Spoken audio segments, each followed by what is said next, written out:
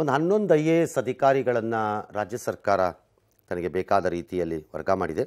ಬಹುಮುಖ್ಯವಾಗಿ ಅದರಲ್ಲಿ ಅಂತಂದರೆ ಕಂದಾಯ ಇಲಾಖೆ ಪ್ರಧಾನ ಕಾರ್ಯದರ್ಶಿಗೆ ಉಮಾಶಂಕರ್ ಅವ್ರನ್ನ ಹಾಕಿದ್ದಾರೆ.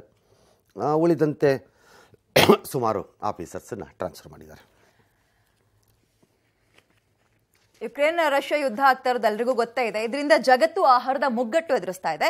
ಭಾರತ ಕೂಡ ಗೋಧಿ ರಫ್ತನ್ನ ಈಗಾಗಲೇ ನಿಲ್ಲಿಸಿದೆ ಆಫ್ರಿಕಾದ ಬಡ ದೇಶಗಳು ಇದರಿಂದ ತತ್ತರಿಸಿ ಹೋಗ್ಬಿಟ್ಟಿದೆ. ಗೋಧಿ ದರ ಹೆಚ್ಚಾಗ್ತಾ ಇರೋ ಹಿನ್ನೆಲೆಯಲ್ಲಿ ಜನರೆಲ್ಲ ಗೋಧಿ ಬಳಸೋದು ಬೇಡ. ಬಿಟ್ಟು ಮರಗೆಣಸು ಮಾದಿಯ ಕಸಾವವನ್ನ ತಿನ್ನಿ ಅಂತ ಉಗಾಂಡ ಅಧ್ಯಕ್ಷ ಯುವರಿ ಕರೆಯನ್ನ ಕೊಟ್ಟಿದ್ದಾರೆ. ಈ ಗೆಣಸನ್ನ ಒಣಗಿಸಿ ಹಿಟ್ಟು ಕೂಡ ಮಾಡ್ಲಾಗ್ತಾ ಇದೆಯಂತೆ ಈಗ.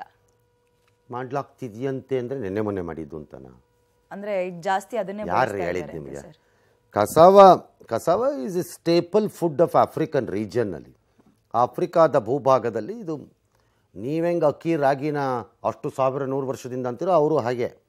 ಮರಗೆಡಸನ್ನು ಉಜ್ಜಿ, ಹೆರೆದು, ತೆಗೆದು, ತದನಂತರ ಅದನ್ನು ಒಣಗಿಸಿ, ಒಣಗಿಸಿದ್ರಲ್ಲಿ ನಾವು ಹೆಂಗೆ ರೊಟ್ಟಿ ಥರ ಮಾಡ್ಕೋತೀವಿ, ಅಥವಾ ಮುದ್ದೆ ಥರ ರಾಗಿಲಿ ಮಾಡ್ತೀವಿ, ಅಥವಾ ಗೋಧಿಲಿ ಮುದ್ದೆ ಮಾಡ್ತೀವಿ, ಆ ಥರ ಮಾಡ್ತಾರೆ ಅದನ್ನು. ಇಟ್ಸ್ ಟೈಮ್ ಟ್ರಸ್ಟೆಡ್ ಫುಡ್ ಅವ್ರದ್ದು. ಏನು ಮಾಡ್ತಿದ್ದಾರಂತಂದರೆ ನಿನ್ನೆ ಬೆಳಗ್ಗೆ ಸಂಶೋಧನೆ ಮಾಡಿದ್ದಲ್ಲ ಬಟ್ ಅದನ್ನು ಯೂಸ್ ಮಾಡಿ ಅಂತ starch content is very high ಅದಕ್ಕೆ. ಹಾಗಾಗಿ ಅದನ್ನು ಯೂಸ್ ಮಾಡಿ ಅಂತ ಹೇಳ್ತಿರಬೇಕು. ಬಟ್ ಗೋಧಿನ ಬಿಟ್ಕೊಟ್ಬಿಡು ಅಂತೇಳಿ ಭಾರತ ಮಾಡಿಬಿಟ್ಟಿದೆ ಅಂತ ತತ್ತರಿಸಿ ಹೋಗಿಲ್ಲ. ಯಾರಿಗೆ ಗೋಧಿ ಅವಶ್ಯಕತೆ ಇದೆಯೋ ಈ ರೀತಿ ಆದಾಗ ಅವ್ರು ಬೇಕಾದ್ರೆ ಇಂಪೋರ್ಟ್ ಮಾಡ್ಕೊಳ್ಳಿ ಸ್ಪೆಷಲ್ ಪರ್ಮಿಷನಲ್ಲಿ ಅಂತ ಕೇಂದ್ರ ಸರ್ಕಾರ ಹೇಳಿದೆ ನಮ್ಮಲ್ಲಿ. ಕಾಸಿದ್ದವ್ನು ತಗೋಬೇಕಷ್ಟೆ. ಪುಕ್ಕಟೆ ಕೊಡು ಅಂದ್ರೆ ಕೊಡೋಕ್ಕಾಗಲ್ಲ.